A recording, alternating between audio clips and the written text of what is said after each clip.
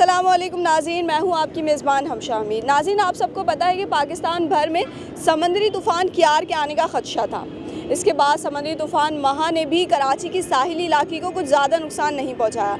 लेकिन अब जो तूफ़ान पाकिस्तान भर में आया है, इससे कराची की, ना सिर्फ़ कराची के अवाम बल्कि पाकिस्तान भर में मौजूद लोग खासे मुतासर हुए हैं। और ये तूफ़ान है महँगाई का तूफ़ान, जिसमें टमाटर की फ़ी किलो कीमत दो सौ पचास रुपये तक पहुँच गई है, जिससे शहरीों की ज़िंदगी अजीरन हो गई है। आइए इस हवाले से लोगों से बात करते हैं। जैसे टमाटर दो सौ पचास रुपये किलो हो गया, क्या बोलिए भाई, ये तो बहुत आवाम के लिए मुश्किल है। दो सौ पचास और जो गरीब आवाम है तो बिल्कुल भी मैनेज नहीं कर सकती। और जो लोग ले सकते हैं, जिनकी इस्तात है, वो तो ज़ाहिर सी बात है महँगे हों, सस्ते हों, वो लेंगे। लेकिन जो बिल्कुल गरीब आवाम है, उनके लिए बहुत मुश्किल है। और आई थिंक कि इसमें गवर्नमेंट का बहुत बड़ा रोल है कि उनको ये जो माफिया है, इसके ख़िलाफ़ एक्शन लेना चाहिए।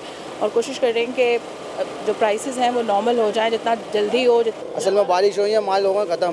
पीछे माल स्पोर्ट हो रहा है। माल मंडी के अंदर बहुत आ रहा है मगर कराची में पूरा नहीं हो रहा। एक साइड का सीज़न है बलूचिस्तान का प्याज का भी टमाटर का भी। अब एक साइड कहाँ कहाँ पूरा करेगा? माल जा रहा है बाहर जब भी माल महँगा है।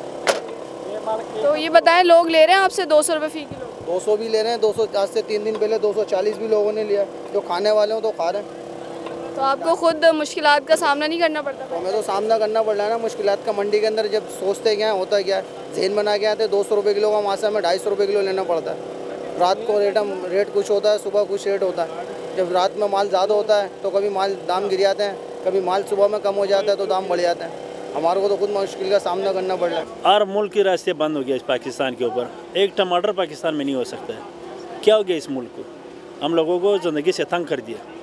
जिस बंदे से नहीं हो सकता है तो छोड़ दिया अपना हुकूमत।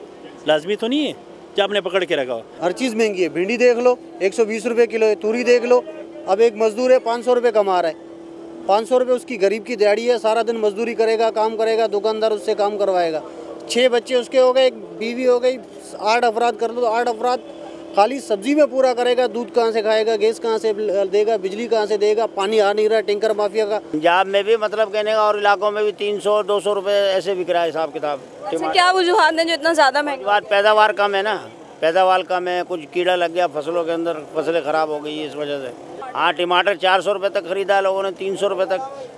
हाँ आपको लगता है हुकूमत इसकी जिम्मेदार है जो महँगाई इतनी हाँ, हुकूमत जिम्मेदार है क्यों? हुकूमत बाहर से माल मंगाती थी पहले अब कोई भी नहीं मंगा रहा है। इमरान साहब जो है ना बिल्कुल भी नहीं मंगा रहे माल बाहर से।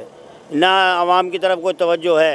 इसको कोई दस रुपये भी नहीं ले जो सौ रुपये का बिक रहा है वैसे तो टमाटर ढाई सौ रुपये किलो बिक रहा है। सब्ज़ी के हर रेट जो है ना सौ से ऊपर ही है। और क्या क्या चीज़ आपको महँगी मिल रही है महँगी तो सब ज़्यादा महँगी है। सब चीज़ महँगी है। कोई सस्ती नहीं है।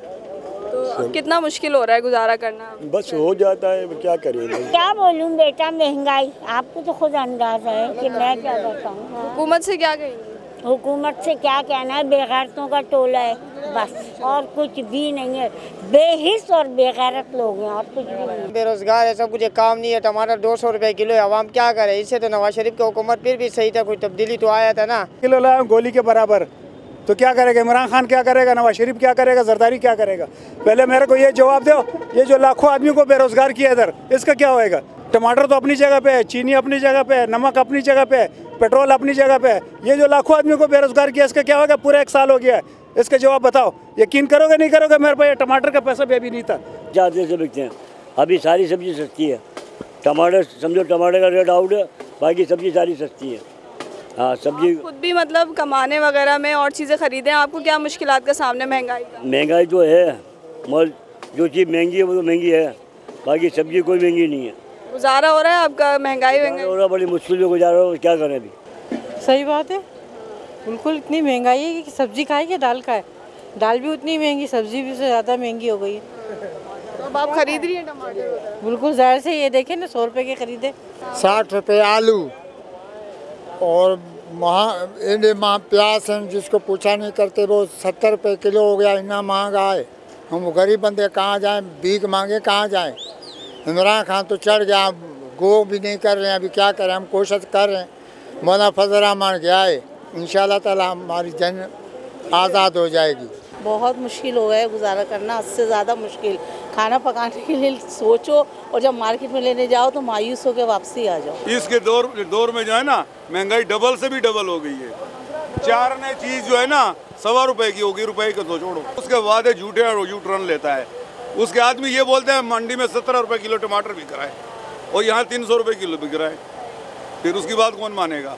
एक करोड़ नौकरी देने वाला, एक करोड़ लोगों को बेरोजगार चुप कर चुका है। एक करोड़ मकान देने वाला, दो करोड़ घर तोड़ चुका है। बाबा, पूरे पाकिस्तान में महँगाई है। ये खाली ये नहीं सस्ती मार्केट है। वहाँ पे मंडी में भी जाओगे, वहाँ पे भी महँगाई मिलेगी। नाजीन आवाम का कहना है कि नए पाकिस्तान में अशय खुर्दनोश के आए रोज़ इजाफे ने उनकी ज़िंदगी अजीरन कर रखी है। हुकूमत महँगाई के इस जिन पर जल्द अज जल्द काबू पाए और आवाम को रिलीफ फराहम करे। कैमरामैन शहजाद के साथ अपनी होस्ट हमशा अमीद को इजाज़त दीजिए। मिलते हैं अगले प्रोग्राम में।